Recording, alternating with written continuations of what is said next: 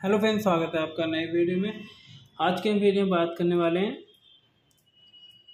Internet problem हम कैसे solve कर सकते हैं। तो चलिए फ्रेंड्स, वीडियो को शुरू करते हैं।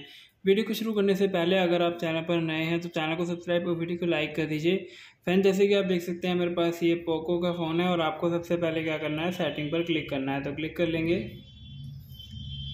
सेटिंग पर क्लिक करते ही आपको इस तरीके का आइकन शो करेगा। आपको यहाँ पर क्या करना होगा, थोड़ा सा ऊपर की साइड स्क्रॉल करेंगे। और कनेक्टिंग शेयरिंग पर जाएँगे तो क्लिक कर लेंगे।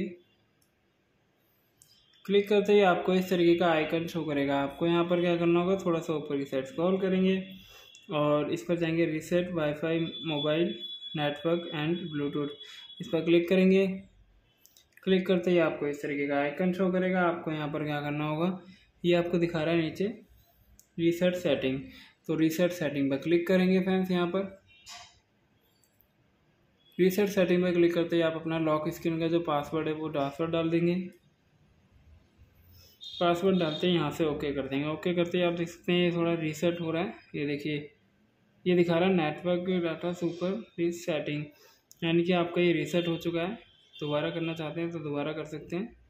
इससे क्या होगा, आपका जो इंटरनेट प्रॉब्लम है सॉल्व हो जाएगा। तो उम्मीद है फ्रेंड्स आपको वीडियो पसंद आएगी। वीडियो पसंद आए तो चैनल को सब्सक्राइब कर वीडियो को लाइक कर दीजिए। मिलते हैं नेक्स्ट वीडियो में। तब तक के लिए नमस्कार।